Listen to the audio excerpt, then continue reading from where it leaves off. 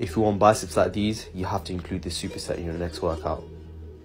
So, first exercise of the superset is going to be regular dumbbell curls. Nice and simple. Grab a moderate weight of which you can do 8 to 10 reps with. For me, that's 12 kilograms. And then straight up, after you've done that, move on to hammer curls. That's going to be a second exercise for the superset. And do another 8 to 10 reps with that. Nice and simple, guys. Let's keep it going. Rest 2 to 3 minutes in between. And then after that, move on to your second set and up the weight by 2 kilograms and do the same rep range again and then rest another two to three minutes. And for our third and final set now, now this is going to be challenging. Now hear me out. Stick with the same weight and do six to eight reps now for each exercise. So for me, it was 14 kgs, six to eight reps each exercise.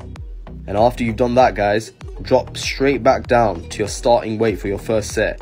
And this time, there's no rep range, guys. You have to take it to absolute failure. Yeah? Give it to your bicep. Give it all you got, guys. Give it all you got and trust me, you'll see change. As you can see, it's challenging, but at the end, it's worth it. And the pump, I'm telling you, it was insane.